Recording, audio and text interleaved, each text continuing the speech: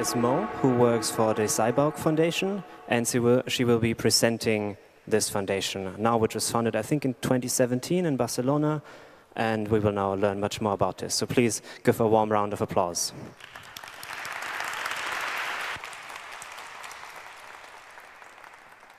Hi, is this working? Hola. Okay. Hello. Do you hear me well? Yes. Okay. Thank you. So as um, they said, uh, my name is Mo Akamagnet, and I work in Cyborg Foundation Labs, and it's what I'm gonna present today.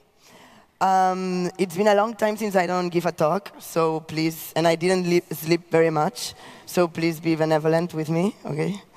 Um, I'll talk about CFL and its story. First, first of all, I'll be a little bit fast in the story, and then I will explain what we are up to right now. Um, so the beginnings of the Cyborg Foundation was created by these two artists, um, Neil Harbisson and Moon Ribas, that you might know. Um, they are both considered by media the, the two first female and male um, uh, cyborg artists. And well, as you can see, the CF, uh, what it does, it's an organization that encourages humans to become cyborgs and promote cyborgism as an art movement. So first of all, I'll talk about Neil Harbisson. Neil Harbisson is a person that has, um, is colorblind. He only sees in gray scale. Uh, so then in 2004, he decided to get an implant in his skull uh, of an antenna. It's called uh, an eyeborg. And what it does is that it detects, it detects um, colors as frequencies. So he has um, the sound connected to his skull, and the vibrations, the vibrations of, the, um, of the colors, he can read them. So whenever he hears a, a an F, a Fa, um, it's color red, for example. No?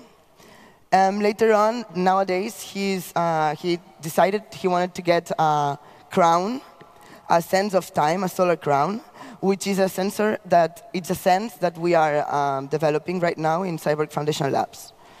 Um, this time sense is very interesting because, um, well, here on the, on the left, I think, on the right, on your left, you can see the circuit that we did.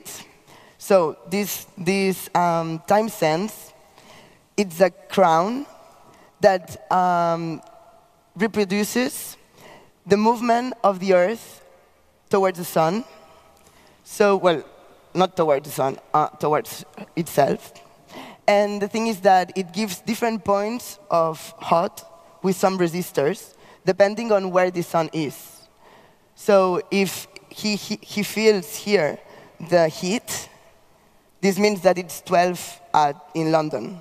I hope you understand me a little bit, but yes. And so this was a problem to elaborate because um, with different with Arduino, you don't have you have too much pins and you have too much power, too much current. So you have like um, a lot of current, and it's impossible to power it up. So then um, we decided to work with a, ATtiny 85, and the idea that we had is to use this microcontroller called WS2811, which is a shift register, and that is used for RGB um, LEDs, okay? And we are generating 12 inputs of hot with those resistors using only the ATtiny 85. And yeah, and what is very interesting about this is that um, Neil Harbisson, his idea is that, you know that Einstein, he says, if we, ha we have eyes, as we have eyes, we can we have time illusions. No, not time illusions. Sorry, optic illusions. Okay. So if his if his brain is able to connect um, to feel time instead of the 24 hours day we have, feeling time through the through his skull, he will be able to have time illusions. I don't know if you understood that, because maybe I'm not explaining myself very good, but the thing is that when he, you know that our brain is very plastic, so it can get used to the new senses that we are um, introducing it to, uh, to our body. So the thing is that um, when he feels all this heat going around his head, he has this perception of time, and if he uh, slows down this, this, this rotatory time passing, he, he thinks that he's going to be able to slow his perception of time, so to age slower. Okay, so now you have to sync this. Then I'm going to talk about Moon Ribas. Um, she's a choreographer and dancer. And she, like, at 2007, she got um, these seismic sensors on her feet that were connected to Bluetooth, to a mobile phone, to some servers that reproduced the different um, seismic movements that are around the world. And she does these performances with a big um, tambor, okay, with a big drum. And uh, he, she reproduces all the earthquakes that have happened, for example, in Mexico from um, 1880 um, till nowadays. Uh, but two months ago, she decided to take off these seismic sensors and what is very interesting, as I said before, our brain is very plastic. So for more than 10 years, she had these sensors. So when she took them off, her brain was repeating these movements. So that's what it's called ghost cyborg, because she doesn't have any more these sensors, but um, she feels the vibrations. Um, another uh, circuit that we elaborated is the transdental communication system. It's a Bluetooth tooth both Neil Harbisson and Moon Ribas, they included um, a Bluetooth-enabled button, button and a mini vibrator, so they could uh, talk via Morse code by pressing their teeth. Right now, they took it off, so they're not wearing it anymore, but they used it for some years. Um, then later on, after uh, 2017, some more people uh, got inside the project, and we changed the name and we call it Transpecies Society. Um, well, it's just, it's the same, but just another name, so I'm just gonna pass fast. Uh, here in your uh, right, you can see Manel Muñoz, which is another cyborg artist. Um, Manel Muñoz, he has a barometric sense that it sends pressure, temperature, and humidity. Um, first of all, this circuit, circuit used to uh, make um, vibrations in his skull. So the thing is, you have this circuit, no? Which senses humidity, pressure, and temperature. And depending on the levels of these three parameters, um, he will feel uh, some vibrations, stronger or, slow, or, or softer vibrations. But nowadays, we changed um, this circuit, and the input that he's receiving is um, is a, a bone conduction sound wave. So he has this flash memory inside the circuit, which reproduces bubble sounds. And depending on if it's more pressure or if it's more humid, he will feel more, more bubbles, a different type of um, uh, bubble, and that's it. So nowadays, um, this year, 2019, uh, we created the Cyborg Foundation Labs, which is like a new emerging for us. And we are centered, um, we are based in Barcelona, and we give voice to non-human identities. Um, we are a group of technicians, philosophers, designers, and artists, as I already said, that we explore the relationship between species and also um, how we can evolve as humans. Uh, as you see, we, we base our experimentation on nature, on nature because uh, humans, we have five senses, no? But depending on how you check it, we have five, six, seven, it depends. But the idea is that um, we look through nature, through all the beings, because um, they have some senses that we don't.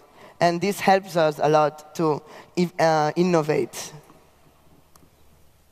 Um, this, till now, I've only talked about artists. I don't consider myself an artist, I consider myself a technician and I, I am from the crowd of technicians, no?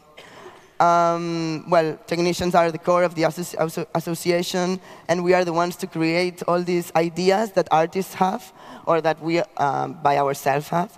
Then we have philosophers, who are the ones that um, generate the cyborg theory, and some designers that are the ones that um, take care of the materials. Here I am, I just wrote some, because I don't want to only talk about artists, so I just put the technicians here. Felix Binario, he's um, the main technician, and he's a great um, developer, and he uh, is the one to generate all these new circuits that we have to generate. Because all these new circuits are not created yet. they, um, we invent them using the materials and the circuits that we have on, in a commercial view. Um, we apply it uh, to our um, domain and rebuild them and improve them. Well, we also have Judith Pares, who is a designer, but she's also a technician, and myself, and I don't have a website, so I didn't put my website. The philosopher, Tatiana Fanador Lopez, and a designer, Oroy Alba. There are many, many more people collaborating with us, but I didn't have time to put them all. They, they, are, they didn't connect me, so never mind. Okay, now I'm going to talk about uh, cosmic rays organ. This organ is um, an organ that helps you to detect the cosmic rays that travel around the atmosphere. Um, cosmic rays are uh, these particles. They crash onto the atmosphere, and um, they and also to muons. And the thing is that we used a project from the MIT that they designed, which um, I don't know if there's someone here from the MIT, but there were a lot of errors in the circuit. But um, we are using this uh, circuit from the MIT uh, where they detect um, these, uh, the cosmic rays. The thing is that you have a cell with some oxi oxides, oxides, I don't know how you say it, inside a dark chamber with a scintillator, okay, which is a type of polymer. And this helps you to, it, it bounces, these particles bounce, and they reduce the speed of the muons so that we can detect them. So we detect these muons, and we give an input to, to the person that has this sense. And in this case, we did the same as the pressure, as the, um, as the pressure sense, where this person is going to hear frequencies and sounds. Mm -mm -mm. And right now, um, we are, as I said before uh, presenting myself here, um, we are developing a new way, because one of the most problems that we have with our sensors, with our senses, sorry, is that um, it's battery problems. Because um, these new organs are supposed to, to um, be with you all your life, at least one year, no? So um, what do you do with power? It's a big problem. So right now we are just developing, I wanted to bring a, a prototype here, but um, some materials that we bought didn't arrive, so I was not able to bring it. But we are right now um, developing this Seebeck effect. Um, it's the first prototype developed ever. And I don't know if you know what Seebeck effect is, but it's a thermoelectric effect. And this thermoelectric effect, what it does is that it, um, it converts temperature difference to voltage, and it also and also vice versa. So um, as you can see here, we have um, the prototype designed, and uh, well, the back view is just the aluminum. It's just the back view, so whatever. Then we can see the um, dissipator, the heatsink, heat sink, and the chip.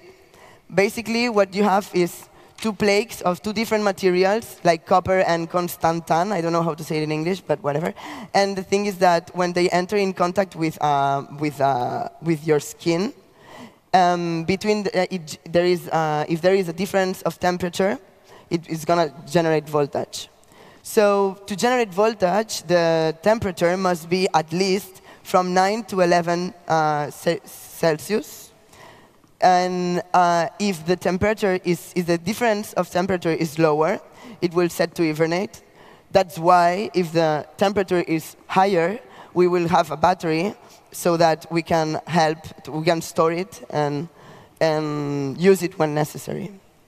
Um, it's still a prototype, so we are still working on it and figuring out the charge and the discharge systems and which IC we can use.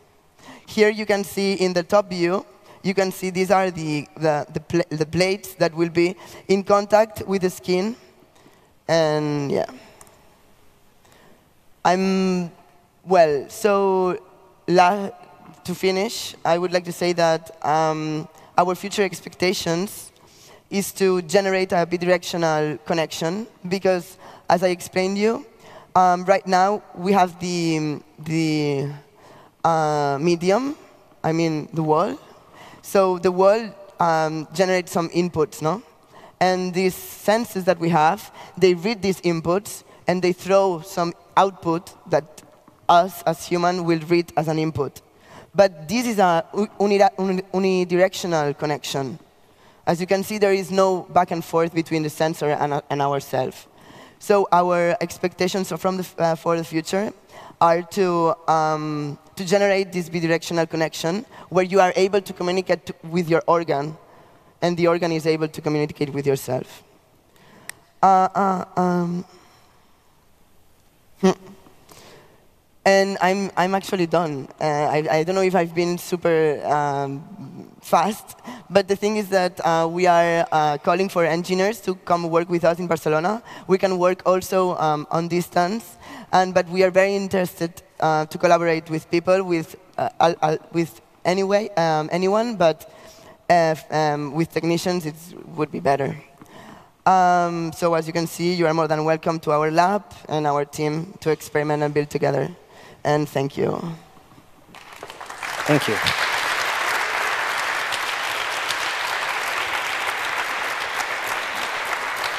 It's been 15 minutes. Oh, we have plenty of time.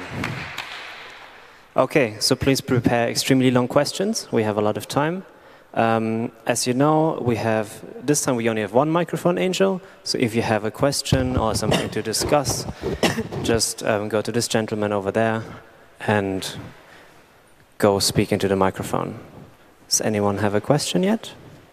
We are also open to receive people that want to get some new senses and yeah. we can talk later then. All right, we have a question. Does anyone have okay, a question? thank you. Um, hello, I'm over here. Where? Okay. doesn't help, does it? Um, thank you for the talk. I was really interested in your Seebeck effect prototype. So one of the problems I've been having is generating power or having a battery inside the body. So for implantable devices, how have you done any research into powering those? Mm. Yes, actually we have some implanted devices inside. And for now, uh, the battery stays outside. We haven't implanted yet um, in this case. All right. Any more questions from anyone? Okay, maybe one question from me. For to do the Seebeck effect stuff, how large do you need the temperature gradient to be? Yeah, from 9 to 11 degrees. Okay, so not for camp use. Huh? So it's not usable at camp where it's super hot. it depends on your body temperature. It depends on the difference of the of the body temperature and the temperature of the of the outside. Yes. Mm -hmm. Okay.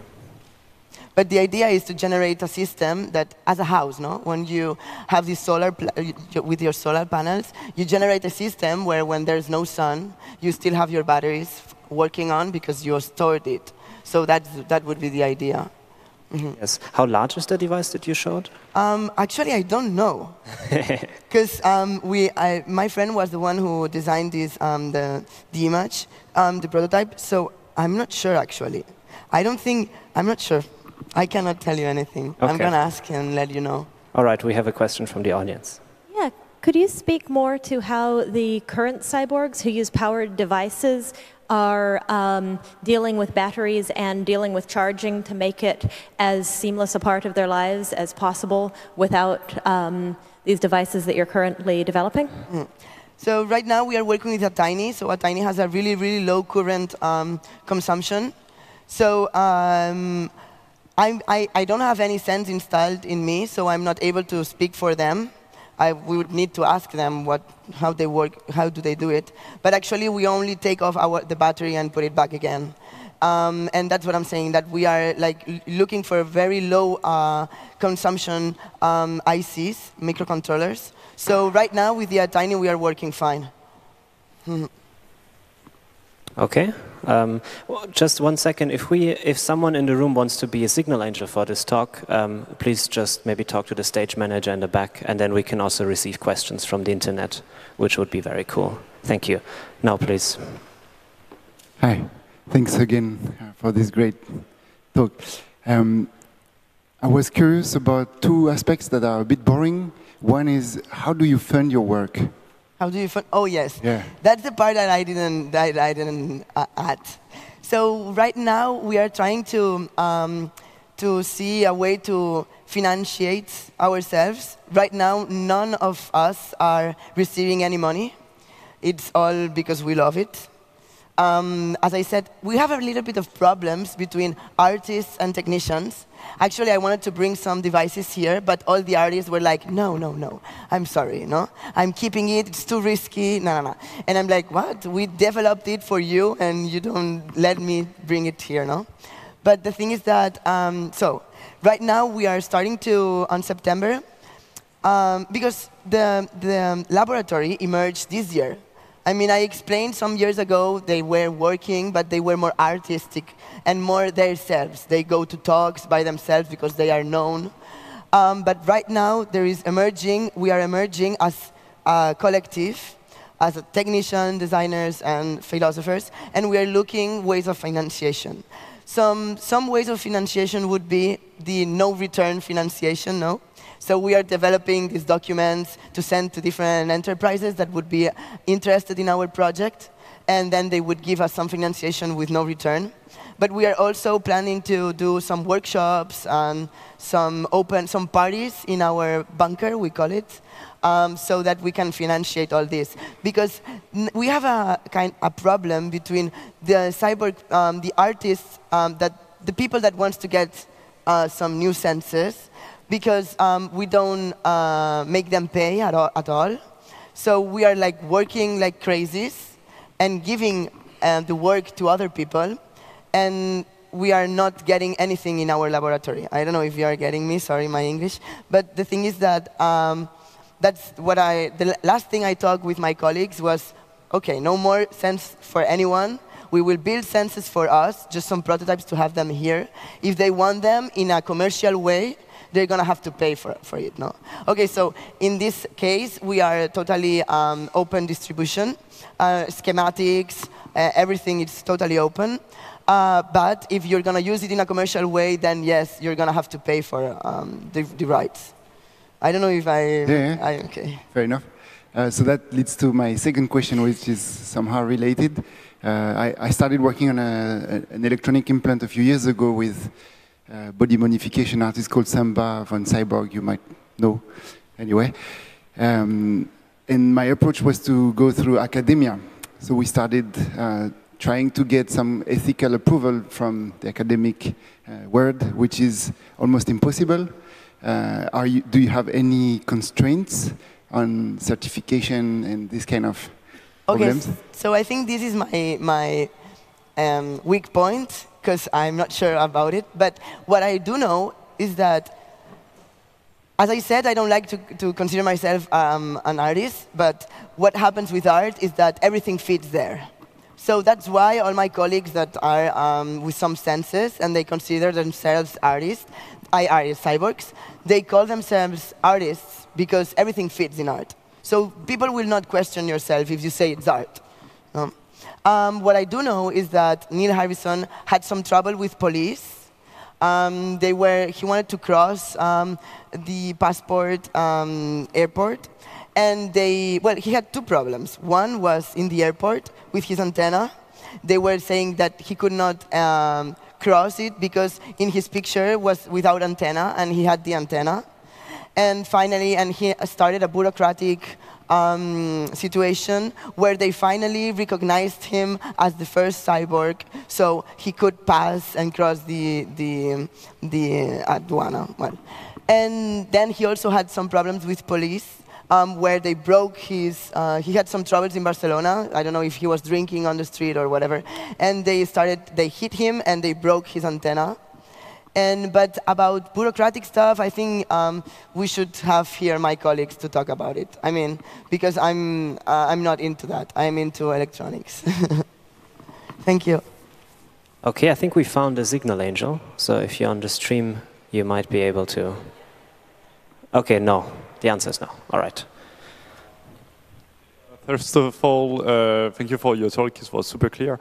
Um, I'm wondering, uh, usually we, when we want to sleep well at night, we uh, shut the, the lights, uh, we have no sound, uh, uh, um, pretty, not too warm, not too cold uh, room, etc. So do you know if these people or cyborgs um, have a, like a quiet mode for their sensors or just turned enough or something? Because you, you cannot really control like cosmic rays, for example? That's a good question. I think each person would do whatever they feel like. Um, but what I know that they don't do is take it off. Because um, they are too concentrated. I mean, they are too focused on, on that.